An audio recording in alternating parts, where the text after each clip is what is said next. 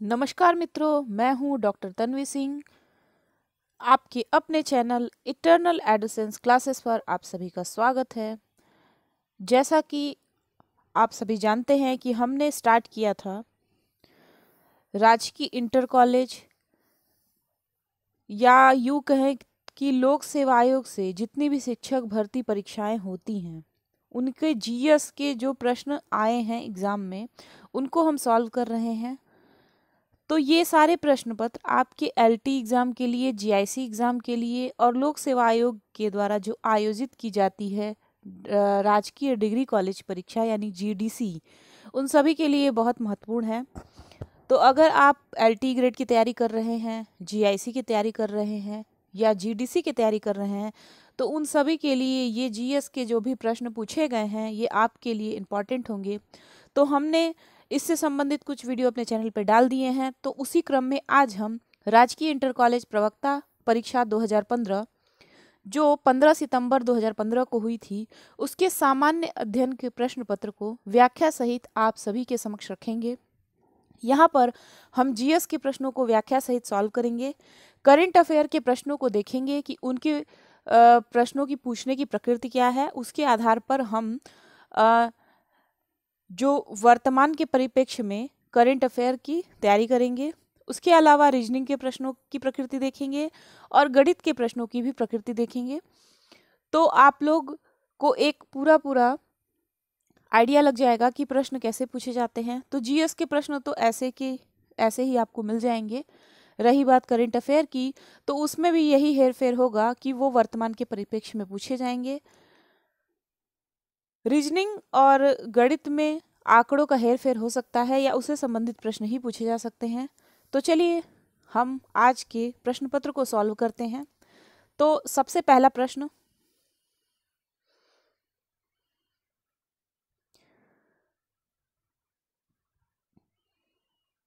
सबसे पहला प्रश्न है, अलबरूनी साथ आया। तो अलबरूनी किसके साथ आया? तो अलबरूनी जो था वो गजनी के महमूद के साथ आया। अब हम इसकी व्याख्या देख लेंगे।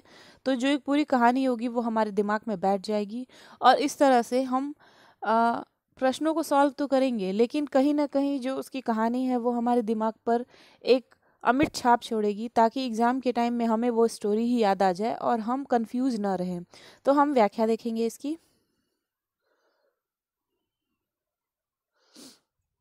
अलबरूनी गजनी के महमूद गजनवी के साथ भारत आया। यह एक फारसी विद्वान लेखक धर्मज्ञ था। इसकी प्रसिद्ध रचनाएँ हैं किताब उल हिंद तहकीक ए हिंद। इसके अतिरिक्त महमूद गजनवी के दरबार में फिरदौसी एवं उत्तबी आदि विद्वान थे।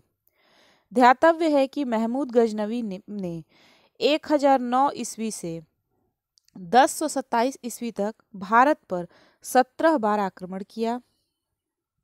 महमूद के दरबारी इतिहासकार उत्बी ने उसके आक्रमणों को जिहाद माना है, जिसका मूल उद्देश्य इस्लाम का प्रसार और बुत परस्ती यानी मूर्ति पूजा को समाप्त करना था। अगला प्रश्न है, धौली स्थित है, धौली कहाँ स्थित है? तो धौली जो है वो भुवनेश्वर में स्थित है। इसकी व्याख्या देख लेंगे। धौली हिल्स उड़ीसा में भुवनेश्वर से आठ किलोमीटर दूर दया नदी के किनारे स्थित है। इस स्थान से अशोक के चतुर्दश शिलालेखों की एक प्रति प्राप्त हुई है। धौली पहाड़ी को कलिंग युद्ध क्षेत्र माना जाता है। अगला प्रश्न है, फाहियान भारत में आया? तो फाहियान भारत में तीन सौ निन्यानवे एडी में आया। चीनी यात्री फाहियान, तीन सौ निन्यानवे ईस्वी में चंद्रगुप्त द्वितीय के शासनकाल में भारत आया। इसने अपने यात्रा वृतांत में मध्य प्रदेश को ब्राह्मणों का देश कहा। प्राचीन काल में आने वाले अन्य विदेशी यात्री विद्वान मैगस्थनीज चंद्रगुप्त मौर्य के दरबार में आया था, डायमेकस बिंदुसार के दरबार में आया था, डायोनीसियस अशोक के दरबार में और हुइनसांग हर्षवर्धन के दरबार में आया।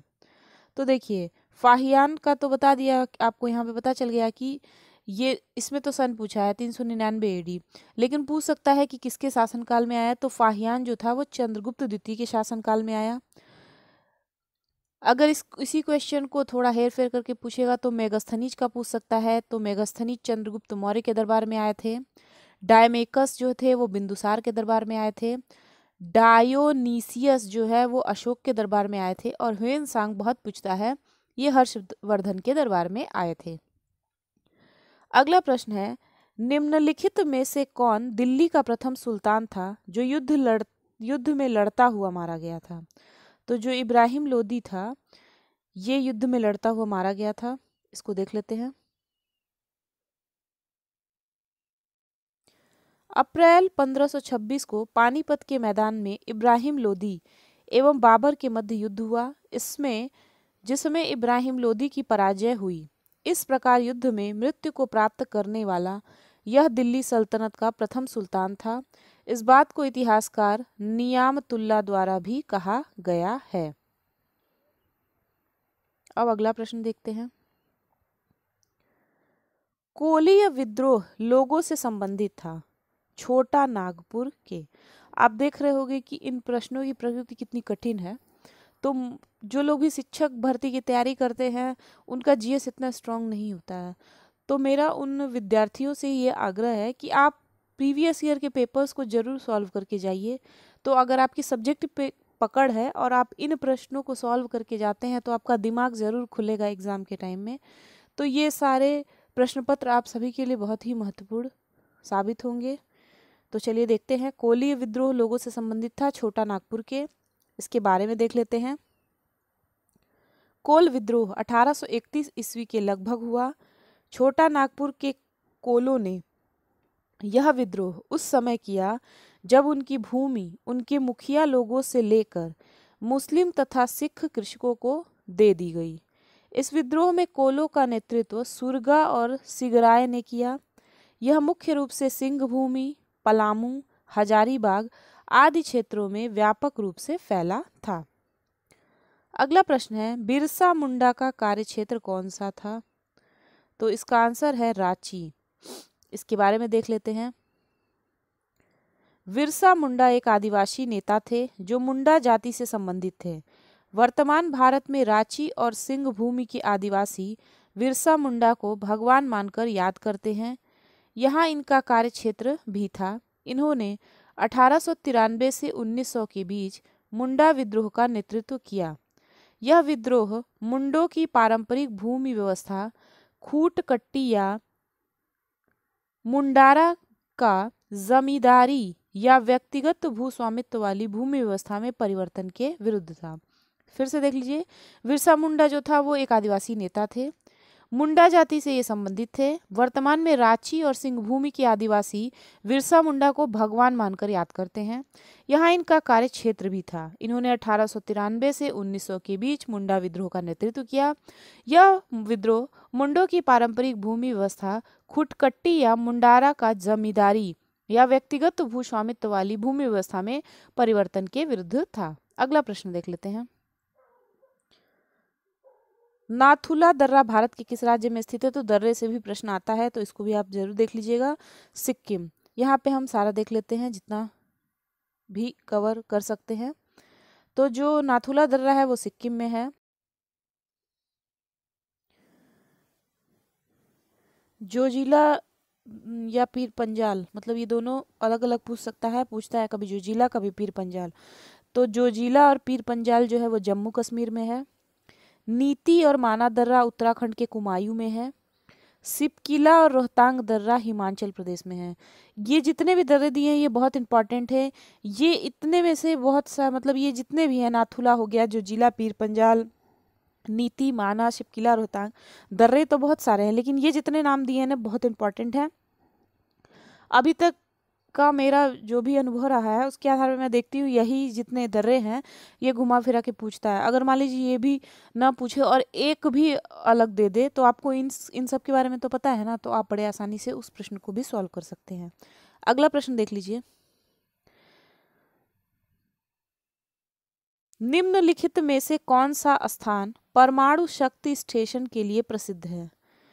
तो कुडन कुलम जो है, वो परमाणु शक्ति स्टेशन के लिए प्रसिद्ध है। इसकी व्याख्या देख लेते हैं। तमिलनाडु प्रांत तिरुनेलवेली तिरुनेलवेली ज़िले में स्थित कुडनकुलन नामक स्थान परमाणु शक्ति स्टेशन के लिए प्रसिद्ध है। यहाँ भारत एवं रूस के सहयोग से 1000 मेगावाट की परमाणु विद्युत परियोजना स्थापित की गई है।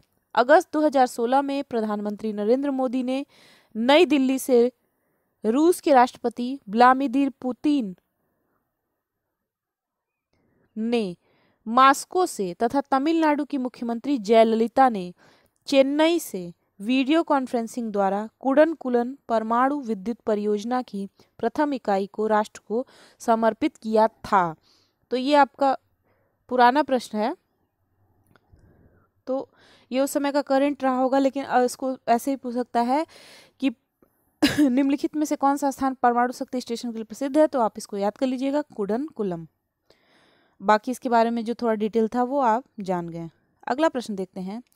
यूरोप के निम्नलिखित देशों में से कौन खाद्यान्न उत्पादन में आत्मनिर्भर है? तो जो इटली है, वो खाद्यान्न उत्पादन में आत्मनिर्भर है। इसके बारे में देख लेते हैं। फ्रांस, यूरोप का एकमात्र ऐसा देश है, जो खाद्यान्न उत्पादन में आत्मनिर्भर है। अधिकांश जनसंख्या नगरीय होने के बावजूद कृषि प्रधान देश होने के कारण इसे किसानों का देश कहा जाता है। ज्ञातव्य है कि फ्रांस को वाइन यार्ड की भी उपमा प्रदान की जाती है। यूरोप में चार राजधानियों से होकर प्रवाहित होने वाली नदी है। कौन सी नदी है? तो डेन्यूब नदी है। इसके बारे में देख लेते हैं। डेन्यूब नदी जर्मनी के ब्लैक फॉरेस्ट पर्वत से निकलकर पूर्व में बहती हुई काला सागर में गिरती है। यह यूरोप की चार राजधानियों से होकर गुजरती है।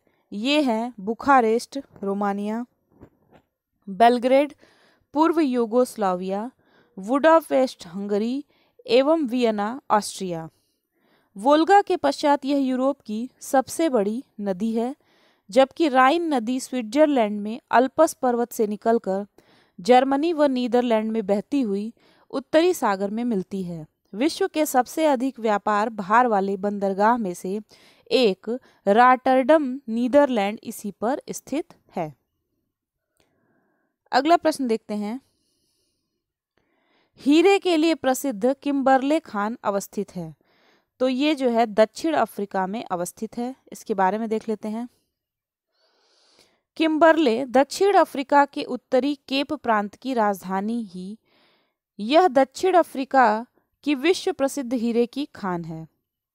ध्यातव्य है कि दक्षिण अफ्रीका संसार का सर्वाधिक सोना भंडारक और तीसरा सर्वाधिक उत्पादक राष्ट्र है।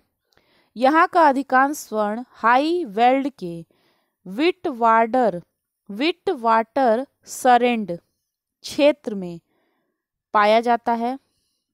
दक्षिण अफ्रीका स्थित जोहान्सबर्ग को स्वर्ण नगर की उपमा प्राप्त होती है। अब यहाँ आप देख सकते हैं आपको कितने सारे प्रश्न एक साथ तैयार हो सकते हैं। पहले तो किम्बरले खान कहाँ पे है? ये याद कर लीजिए, दक्षिण अफ्रीका में है। किम्बरले जो है वो दक्षिण अफ्रीका के उत्तरी केप प्रांत की जो राजधानी है, यह दक्षिण अफ्रीका की विश्व प्रसिद्ध हीरे की खान है। ध्यातव्य है कि दक्षिण अफ्रीका संसार का सर्वाधिक सोना भंडारक और तीसरा सर्वाधिक उत्पादक राष्ट्र है।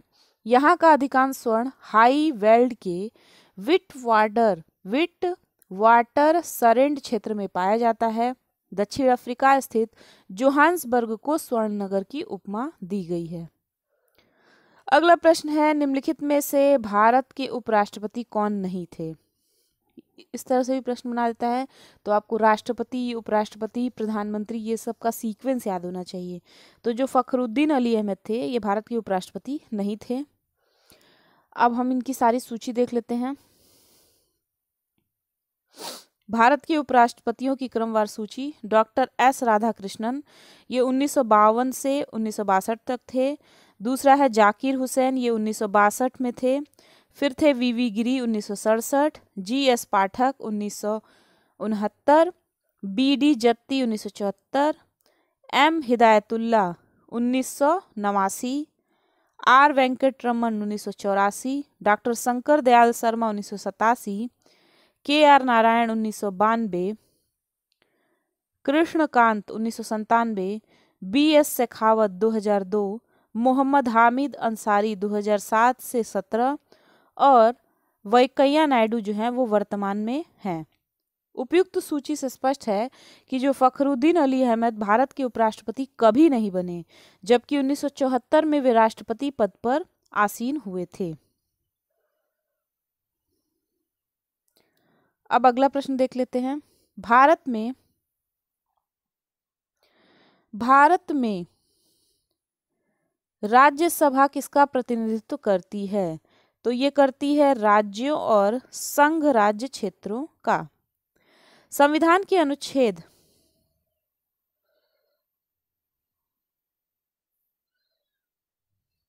संविधान के अनुच्छेद 80 के अंतर्गत राज्यसभा राज्यों और संघ राज्य क्षेत्रों के प्रतिनिधियों से मिलकर बनेगी। अतः स्पष्ट है कि राज्यसभा राज्यों और संघ राज्य क्षेत्रों का प्रतिनिधित्व करती है।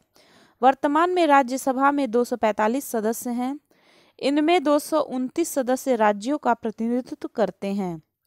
चार संघ राज्य क्षेत्रों का प्रतिनिधित्व करते हैं और बारह सदस्य राष्ट्रपति द्वारा मनोनीत हैं। राज्यसभा एक अस्थायी संस्था है और इसका विघटन नहीं होता, किंतु इसके एक तिहाई सदस्य प्रत्येक दूसरे वर्ष सेवानिवृत्त हो जाते हैं। राज्यसभा के सदस्यों की पदावधि छह वर्ष की होती है। अगला प्रश्न है, निम्न में से कौन संविधान सभा के अध्यक्ष थे? तो संविधान सभा के अध्यक्ष थे डॉक्टर राजेंद्र प्रसाद। इनके बारे में देख लीजिए। 11 दिसंबर 1946 को डॉक्टर राजेंद्र प्रसाद को संविधान सभा का स्थायी अध्यक्ष नियुक्त किया गया, जबकि 9 दिसंबर 1946 को संविधान सभा की प्रथम बैठक में सच्चिदानंद सिन्हा को अस्थायी अध्यक्ष निर्वाचित किया गया था। जबकि प्रारूप समिति के अध्यक्ष डॉक्टर भीमराव अंबेडकर थे। प्रांतीय संविधान समिति के अध्यक्ष सरदार वल्लभ भाई पटेल थे। कार्य संचालन समिति के अध्यक्ष के एम मुंशी थे। भारत में जनमत के निर्माण में मुख्य तत्व होता है। स्वतंत्र प्रेस। इसके बारे में देख लेते हैं। बीसवीं शताब्दी के युग में स्वतंत्र प्रेस, मीडिया जनमत के निर्माण में मुख्य तत्व है। यह जनमत को जानने का भी सबसे सरल एवं स्वीकृत माध्यम है। स्वतंत्र प्रेस प्रशासन एवं जनता के बीच कड़ी का कार्य करता है। यह व्यवस्था की समस्याओं, मुद्दों, तनावों, द्वंद्वों, सवालों को रेखांकित करने में प्रेस की भूमिका सर्वाधिक प्रमुख होती है। विल्की की अभिव्यक्ति के अनुसार स्वतंत्र प्रेस लोकतंत्र की रीढ़ है। अगला प्रश्न है नियंत्रक और महालेखा परीक्षक द्वारा की गई टिप्पणियों पर कार्यवाही करने की प्रथम ज़िम्मेदारी बनती है। किसकी बनती है? संसद की। फिर से बता देते हैं। नियंत्रक और महालेखा परीक्षक द्वारा की गई टिप्पणियों पर कार्यवाही करने की प्रथम ज़िम्मेदारी जो है वो संसद की बनती है। ये बहुत महत्वपूर्ण प्रश्न है। इसको ऐसे ही रट लीजिए। इसकी व्याख्या देख लेते हैं। संविधान के अनुच्छेद 148 में नियंत्रक एवं महालेख परीक्षक के स्वतंत्र पद की व्यवस्था की गई है। यह केंद्र, राज्य या किसी अन्य प्राधिकरण या संस्था के महालेखा परीक्षक से जुड़े लेखा मामलों को व्यवस्थापित करता है एवं उनका निरीक्षण करता है। इसकी नियुक्ति राष्ट्रपति द्वारा की जाती है। यह केंद्र सरकार के लेखों से संबंधित रिपोर्ट राष्ट्रपति को सौंपता है, जो उसे संसद पटल पर रखते हैं। इसके उपरांत संसद इन रिपोर्टों की जाँच लोक लेखा समिति से करवाती है और इसके निष्कर्षों से संसद को अवगत कराती है। चूँकि राष्ट्रपति केवल रिपोर्टों को संसद के सदनों के सभा पटल पर रखवाता है और जाँच संसद समिति के द्वारा करवाती है, अतः विकल्प सी सही होगा। अगला प्रश्न है, कौन सा शहर शहरी विकास मंत्रालय द्वारा बनाए गए सर्वेक्षण में भारत के चार शहरों में से स्वच्छ भारत रैंकिंग में शीर्ष पर रहा है। तो ये उस टाइम का प्रश्न है।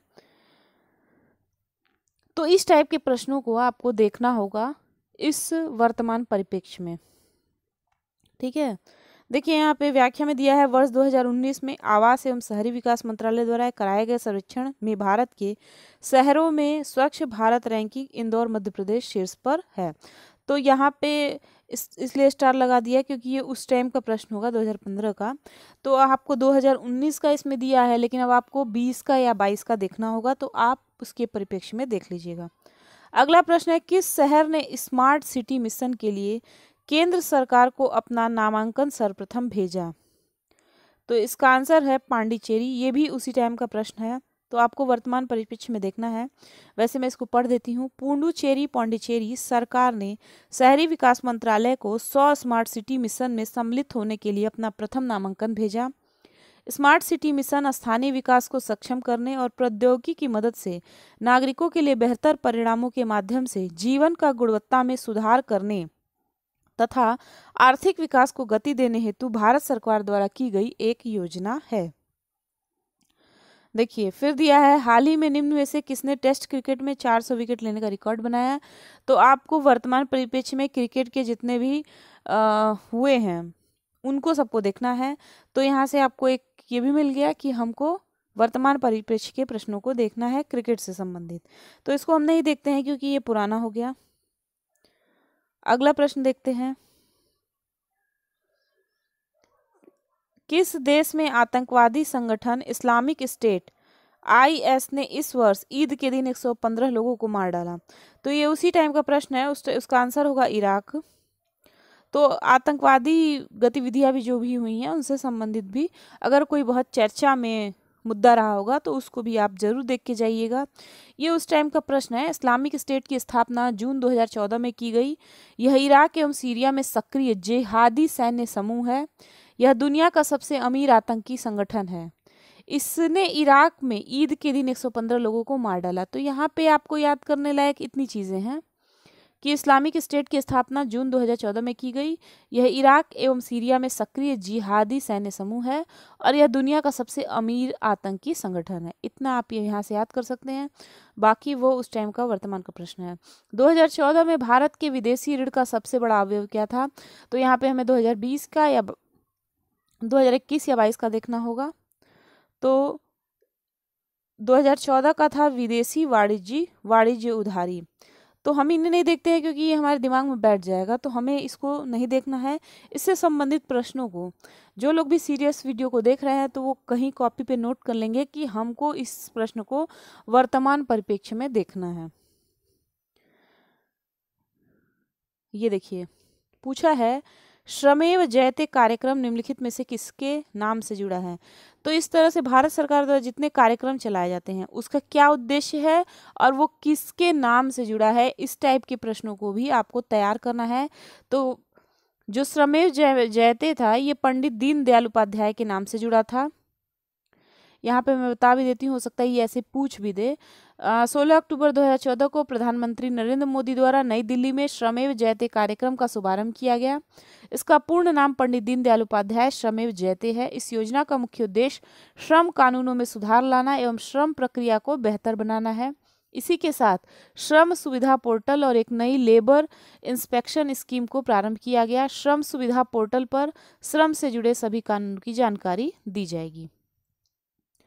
अब चलिए अगला प्रश्न देख लेते हैं। निम्नलिखित में से किस एक को भारत में निर्देशित कोर उद्योग में सम्मिलित नहीं किया जाता है?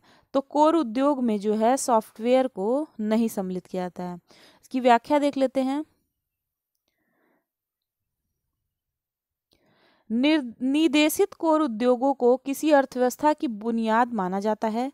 निदेशित कोर उद्योगों में आठ उद्योगों को सम्मिलित किया गया है। तो आप याद कर लीजिए कि कोर उद्योग में क्या क्या आता है। तो जब आएगा तो आप छाट लेंगे आराम से। कोयला, कच्चा तेल, प्राकृतिक गैस, रिफाइनरी उत्पाद, उर्वरक, इस्पात, सीमेंट तथा बिजली। इन आठ उद्योगों का औद्योगिक उत्पादन सूचकांक आई आईपी में अड़तीस फ़ीसदी योगदान है। अगला प्रश्न है, सोनार अधिकांशतः प्रयोग में लाया जाता है। तो सोनार क्या होता है? नौ चालकों द्वारा प्रयोग में लाया जाता है। इसके बारे में देख लीजिए। सोनार एक उपकरण या युक्ति है, जिसे समुद्र की गहराई ज्ञात करने के लिए या जल के नीचे की वस्तुओं जैसे मछली के स्रोत, नष्ट हुए जहाज़ों और दुश्मनों की पनडुब्बी का पता लगाने के लिए नौ संचालकों या नौ सेना द्वारा उपयोग किया जाता है। इसमें पराश्रव्य एवं और अपश्रव्य ध्वनि तरंगों का प्रयोग किया जाता है। विटामिन सी का रासायनिक नाम क्या है? तो विटामिन सी का रासायनिक नाम है एस्कॉर्बिक अम्ल। इसके बारे में देख लीजिए। विटामिन सी का रासायनिक नाम एस्कॉर्बिक अम्ल है। मानव शरीर में इसकी कमी से स्कर्वी नामक रोग हो जाता है। यह जल में विलीय है एवं खट्टे फलों में प्रचुरता से पाया जाता है, जबकि साइट्रिक अम्ल एक प्रकार का मोनोहाइड्रॉक्सी ट्राइकार्बोक्सलिक अम्ल है। यह भी खट्टे फलों में प्रचुरता से पाया जाता है। ट्राइकार्बोक्लिसलिक अम्ल है। यह भी खट्टे फलों में प्रचुरता से पाया जाता है। यह अचार, मुरब्बा आदि के परीक्षण में प्रयुक्त होता है। अगला प्रश्न है, हम कमरे में सूर्य का प्रकाश पाते हैं, किसके द्वारा पाते हैं? प्रकीर्णन के द्वारा। इसकी व्याख्या देख लीजिए। जब प्रकाश किसी ऐसे माध्यम से गुजरता है, जिसमें धूल तथा अन्य पदार्थों के अत्यंत सूक्ष्म कण मौजूद होते हैं तो इनके द्वारा प्रकाश सभी दिशाओं में प्रसारित हो जाता है। इसे प्रकाश का प्रकीर्णन कहते हैं। इसी घटना के द्वारा प्रकाश हमारे कमरे तक पहुँच पाता है। नोट। मूलतः प्रकाश का प्रकीर्णन माध्यम के कणों द्वारा प्रकाश का अवशोषण तथा पुनः उत्सर्जन है। अगला प्रश्न है, बिजली का सबसे उत्तम चालक निम्नलिखित में से कौन है? तो ये बहुत इंपॉर्टेंट प्रश्न है, इसको पूछता है तो जो समुद्री जल होता है, वो बिजली का सबसे उत्तम चालक होता है। उपर्युक्त विकल्पों में समुद्री जल बिजली का सबसे उत्तम चालक होगा, क्योंकि समुद्र का जल लवणीय होता है, और ये लवण जल को आयनीकृत कर देते हैं, जिससे उसमें इलेक्ट्रॉन प्रवाहित हो सकते हैं। इलेक्ट्रॉनों के प्रवाह को ही हम बिजली का बहना कहते हैं। अतः समुद्री जल बिजली का उत्तम चालक है। अब देखिए गणित के प्रश्न कैसे पूछ रहा है इसका मैं आंसर बता दूँगी। इसको आप सॉल्व कर लीजिएगा। कोई व्यक्ति रुपए दस में रुपए ग्यारह सेब खरीद कर ग्यारह में तथा दस सेब बेचता है, उसे कितने प्रतिशत लाभ होगा?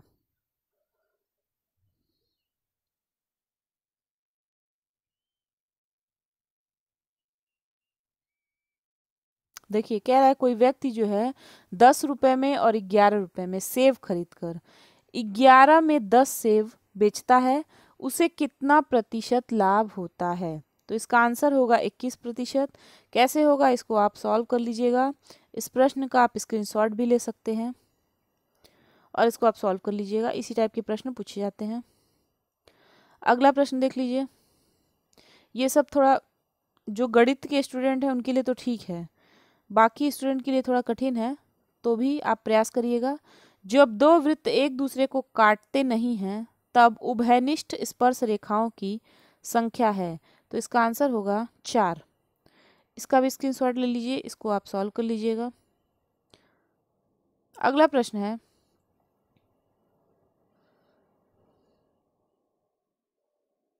पाँच हज़ार का दस प्रतिशत का बीस प्रतिशत कितना होगा? तो इसका आंसर होगा सौ। तो मित्रों, इस प्रकार हमने टोटल तीस प्रश्नों को देख लिया। करंट के प्रश्नों को देख लिया, गणित के प्रश्नों को देख लिया, जीएस के प्रश्नों को देख लिया। तो आप देख रहे होंगे कि 26 छब्बीस क्वेश्चन तो जीएस और करंट अफेयर से मिला के हैं, बाकी तीन चार प्रश्न गणित के हैं। तो आप प्रयास करिएगा गणित के प्रश्नों को भी लगाने का, लेकिन अगर नहीं लगा पाएँगे तो इन प्रश्नों को छोड़ दीजिएगा, क्योंकि लोक सेवा आयोग की जितनी परीक्षाएँ होती हैं, उसमें माइनस मार्किंग भी होते हैं। तो आपको यहाँ पे ये सब काम भी बहुत संभल कर करना है। तो आप इन सभी प्रश्नों को देख लीजिएगा। वीडियो कैसा लगा कमेंट बॉक्स में ज़रूर बताइएगा। अगर आपको कोई भी समस्या है तो उसको भी ज़रूर बताइएगा। हमारे चैनल के माध्यम से उसका समाधान ज़रूर किया जाएगा। और अगर आप हमारे चैनल पर नए हैं तो हमारे चैनल को ज़रूर सब्सक्राइब करिएगा ताकि आने वाली वीडियो की नोटिफिकेशन आपको आराम से मिल जाए। तो चलिए मिलते हैं अगले वीडियो में, अगले टॉपिक के साथ। तब तक के लिए नमस्कार।